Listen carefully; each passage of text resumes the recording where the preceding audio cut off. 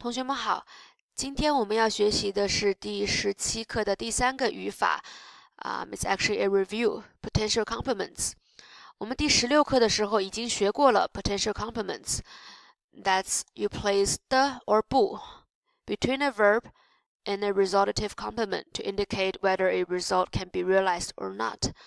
我们上一次学过的例子有看不懂这个汉字，听不懂老师说的话。 做不完作业，考不完试，学不会游泳，想不起来。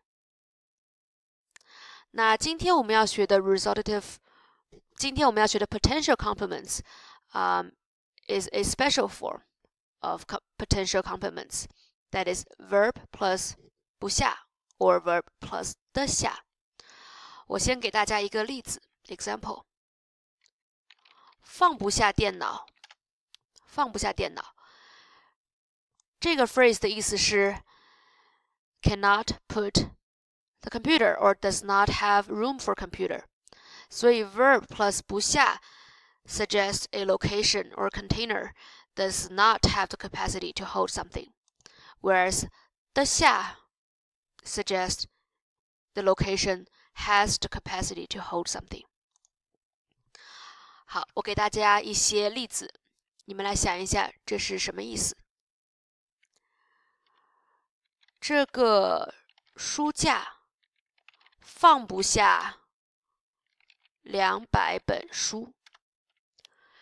这个书架放不下两本两百本书。So this bookshelf cannot or does not have room to hold two hundred books. 这个书架放不下两百本书。我的车坐得下五个人。我的车坐得下五个人。My car can seat or have room for five passengers. 我的车坐得下五个人。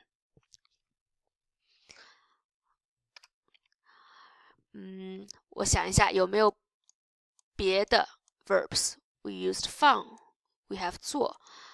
How about 这张纸写不下一百个汉字？这张纸写不下一百个汉字。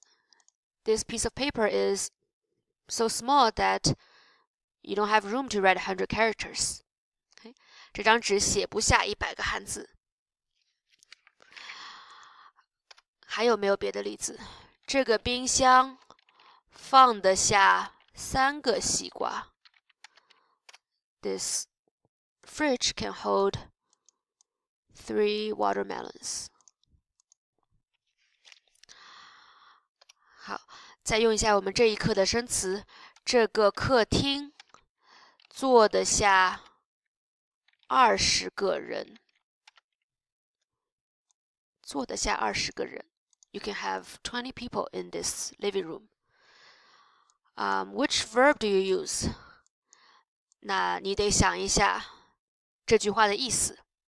Okay. For container, 放放 to put.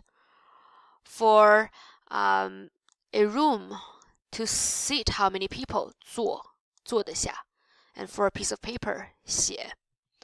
好，那上课的时候我们会在 练习这个 potential complements with verb 不下和 verb 的下，请大家记住。